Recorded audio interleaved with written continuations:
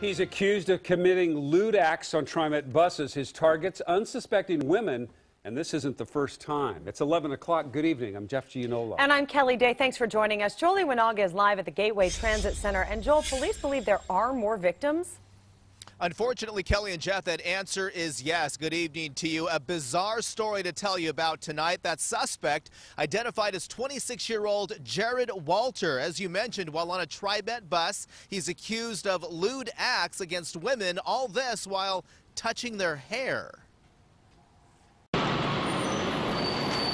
There are lots of weirdos on the bus. But most don't do what police say Jared Walter did to female bus passengers. Like my, like literally my worst nightmare. Like my worst, my absolute worst nightmare. So I can, I can't even imagine. This is surveillance of the 26-year-old boarding a TriMet bus. Transit police say just moments before committing lewd acts in front of other riders.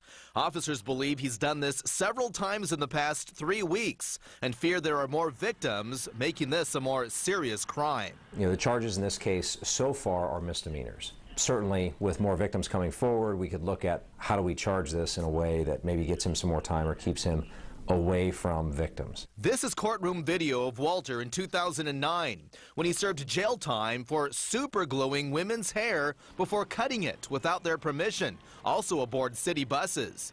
This concerns psychologist Dr. Frank Colistro because of the suspect's apparent lack of behavioral control and the escalating person-to-person -person contact. It's not so much about sex as it is about power and control. It's about some sort of deviant fantasy world this individual inhabits that he may or may not share with us. Walter was arrested Monday at the downtown transit mall, where Callie Brune rides every day. And if you're alone at night, just kind of, I think, being really aware of your surroundings. Good advice from outside and now inside a TriMet bus.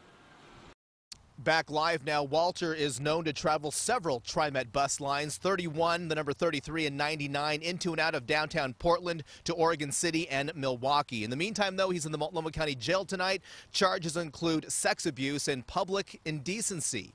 We're live at Gateway tonight. I'm Joel Iwanaga, KOIN 6 News.